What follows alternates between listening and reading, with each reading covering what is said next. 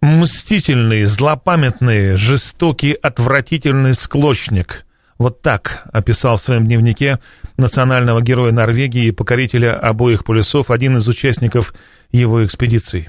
Дневник Йона Йоханссона в 30-е годы 20 -го века приобрел мемориальный фонд Амундсена в надежде, что эти воспоминания станут одним из ярких экспонатов.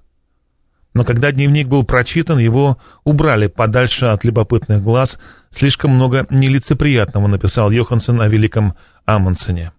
Лишь недавно документ был опубликован, и потрясенное человечество узнало, что Амундсен, оказывается, безжалостно взрывал жилища эскимосов, которые перед ним в чем-то провинились, в тяжелые моменты бросал членов экспедиции на произвол судьбы и, наконец, повинен смерти полярников Тессама и которых зачем-то отправил на Диксон за 800 километров в 50-градусный мороз с никому не нужными почтовыми пакетами.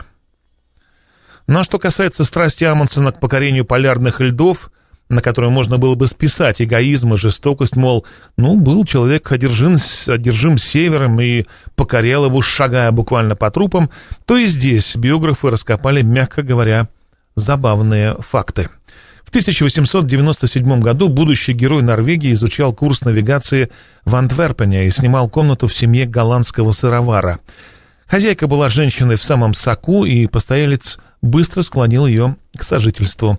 А когда, вдоволь натешившись ее горячими ласками, Амундсен заявил, что пора заканчивать любовное приключение, Фру Тигельт от стыда покончила с собой, отравившись угарным газом.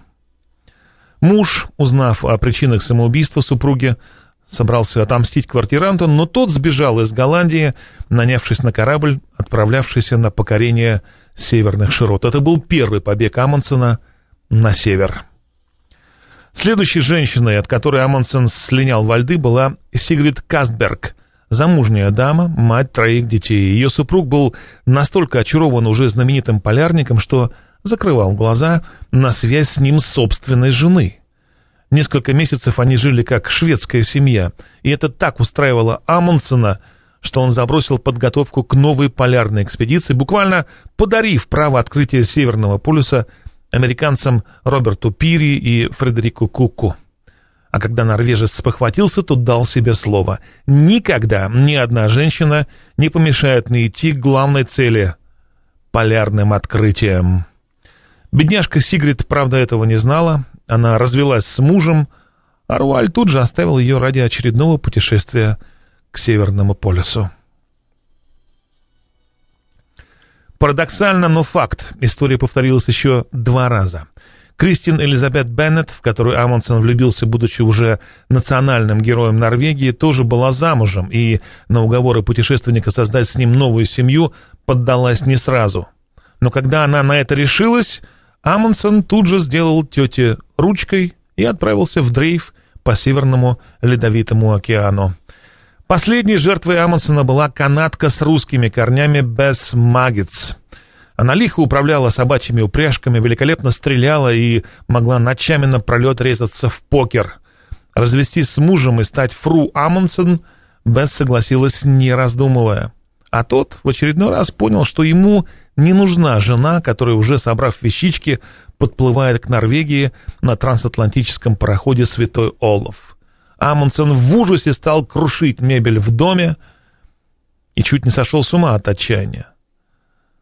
Но на его счастье и одновременно несчастье в это самое время потерпел бедствие во льдах заклятый враг Умберто Нобеле.